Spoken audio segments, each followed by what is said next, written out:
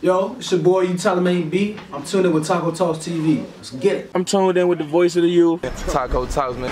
Shout out Taco Talks. You got some what? I'm CHV Top Soldier and I'm on Taco Tuesday. Big Bills on here with Taco Talks TV. Lord dude, Luciano.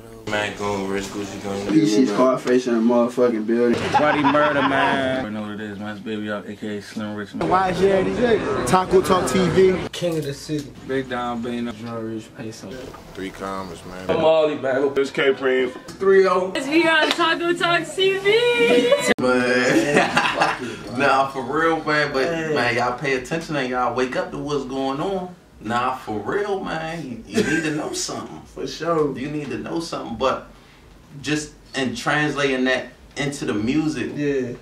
is it hard? Cause I was explaining to somebody, they like, they like, you know, you be working with all the rappers, talk, oh, why won't you do the do the do? I'm like, man, first of all, I can't tell another man how to be.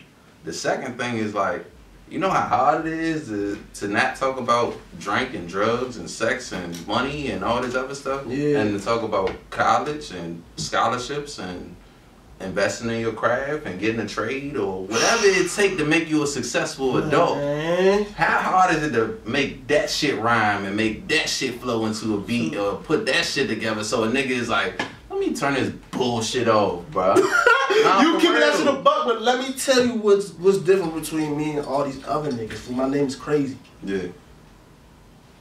I don't give a fuck. It's gonna gravitate to who it gravitate. I'm not trying to get people who listen to fucking rap killing nigga. I don't give a fuck. I'm trying to get. I'm trying to make people who are like me listen to me. Yeah. So so to answer your question, just not giving a fuck because I could die today. I wanna be. I wanna have notoriety, not fame, bro.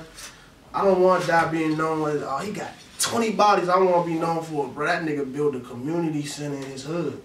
That nigga helped the mother when she was on crack. It helped with her kid. That nigga raising a baby that's not even his. He met the. You know what I'm saying? Just Yeah. I want to be a good nigga, bro. Not saying for the people. Just bro. When I when I leave this planet, I'm trying to go to the next level. I'm not Yeah. trying to come back to this motherfucker. We're not gonna get there. That's the answer to your question. That's that's bro. that that's that elevated talk, man. Yeah. If y'all don't know what's going on by Yeah. I don't know how far along we are, but if you don't know by now, you need to pause this video, go play recovery, put that bitch on repeat like a couple of times, the undeluxe joint. Replay that mm. joint, then spin over to the deluxe joint and really play it back again to make sure you know what's going on. Dog. Nah, for real. That's Because good. because a lot of this is gonna go over their heads, and I think it's important that like people don't just overlook the small details like this, right? And and really putting it into appreciation because I I'm not a rapper, but I do understand how hard it is to put some positive shit Yeah. in some rap on beat, singing, making it appealing, and and really making it that. So Yeah, to Krazy Montana, shout out to him, man. Now for real. Thank for you, real, bro. for real, I'm and I think my best, bro. yeah, Yeah. I think I think it's important to to highlight that and give people their flowers by their head. You know what I'm saying? Especially with all the shit that's going on. Like, Man, look, shout out my man, my brother Squeak Dog. When I hit my fucking milestone with half a million, this nigga dropped flowers all in my house. yeah, Well, You wild niggas would have, thank you, bro. Wild niggas would have been like, bro, the fuck type other shit he on? nah, I looked at it like, I cried. I'm like, fool, because he knew what I went through, bro. I started, he was with there when I had, I was starting off a rock band mic in a fucking basement. Now I'm getting plaques and shit. yeah, People was laughing. I seen when I had a show out, out seven, bro. I seen niggas throw my shit in a trash can. This nigga ain't gonna be shit. yeah, Ain't gonna be shit. Now they in my DMs like, fool, how the fuck? I'll be like, damn. That's how that work now. I'm, I'm this, that, and the third. Now you want help? That's wild. Like Yeah. this is a wild world, y'all. Like this shit's crazy. nah, for Yeah, real. yeah, it it definitely be like that. And like I said, it be the whole circulation and, and, and rotation of what's going on, and to be able to just be elevated like that, or even the passion or the drive for that. Like most niggas, they like, man, I tried that shit. That shit ain't work. Let me go back to doing X, Y, and Z. Right. Bro, perseverance. My fault. And, and that's a nah. You on point though. You on point. Yeah. Perseverance is definitely, definitely one of the ones. We're gonna be right back. And we back like I told you we would be. You know what I'm saying? But mental health. Yeah. What has that been like as a black man what has it been like as a rapper? Bro. Nah, for real, cause I heard you say that in a couple of songs. Like, I'm as crazy being a uh, Black man, black man in America. I say that shit. you I say that shit, bro. Like, Yeah.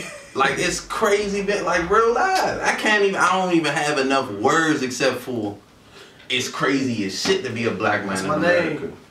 Well, listen, it's hard, bro. Like the older you get, the more, the more, the more I realize it's being colored in America. Food is psychologically uh, uh, disorder itself. Just and um, I'm learning day by day, bro. At first, I used to be scared. Talk about my mental health. I used to be scared as shit. Like I'm gonna be looked at as a picture, a faggy, or whatever the fuck you could call it, bro.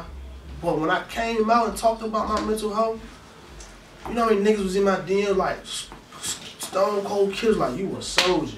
Well, DMV, shout out DMV Hoods and News. He posted that without me asking, cause I was the first nigga from the area to really talk. Come, I posted the picture when I had the toothpaste, all that shit out the fucking mental hospital. My man Deuce pulled up on me, pulled up D Max. They pulled up. I said, bring the camera. I'm about to start my story, bro. And when I did that, that's that was kind of like pre-promotion for the album Recovery. Recovery was supposed to drop a year before that, Yeah. but my father died, Uh, and, bro. So dealing with that, it was it was troublesome, bro. Like, it's like, damn, bro. I got fucking depression. I got fucking psychosis. I got anxiety. But you can't let that shit out nowhere. The music wasn't working, and I'm not doing no drugs. So what else is there to do? Hurt Yeah. myself, yeah. hurt other people. Damn. You know what I'm saying? You don't do no drugs. Bro, bro, drinking and you know I hit the peace pipe, man. You know what I'm saying? Okay, That's all. okay. I don't do no other shit like Okay, that, bro. yeah. No, I'm right with you though. I think Yeah. it's it's crazy, right? We was I was talking to somebody and we was talking about being emotionally incarcerated. That's a that's an album cover. That's an album name. Hmm. Whoever said that shit better do it before I do it. Nah, for real.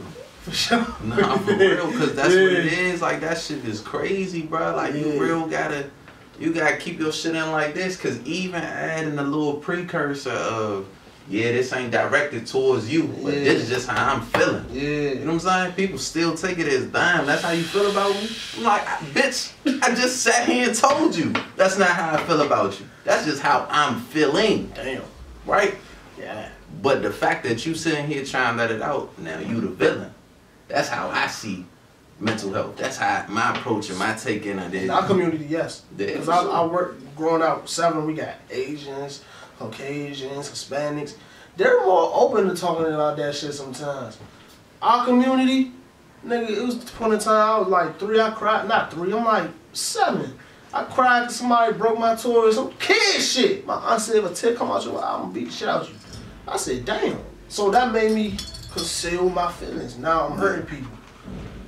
You know what I'm saying? I think I think it's both sides though. Like Ooh. it's important. It's important to, and this not even just off the toy example, but it's important to go through and let some of that shit slide. But at the same time, it's important to let the the the temperature and the impact of it resonate within your mind, right? So that you Yeah. can go through and get to a point of understanding, like, damn, you know what?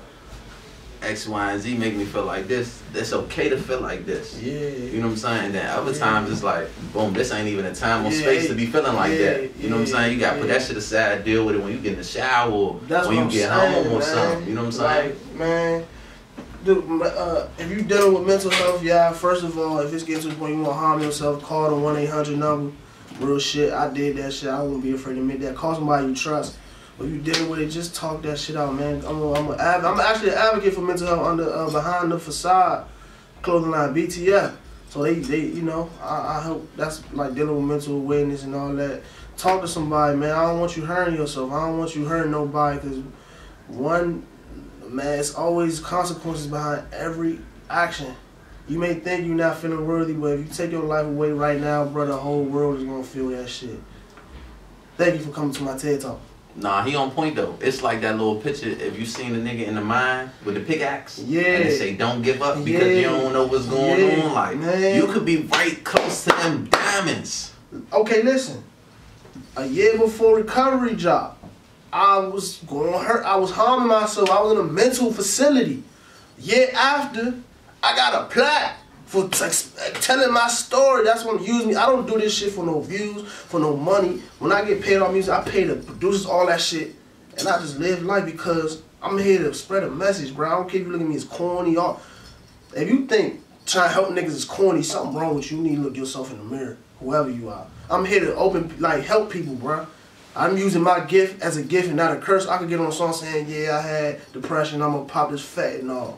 Now my young nigga gonna get depression, yeah, bro, I got depression, I'm about to some fentanyl. Now he dead, I just killed a nigga.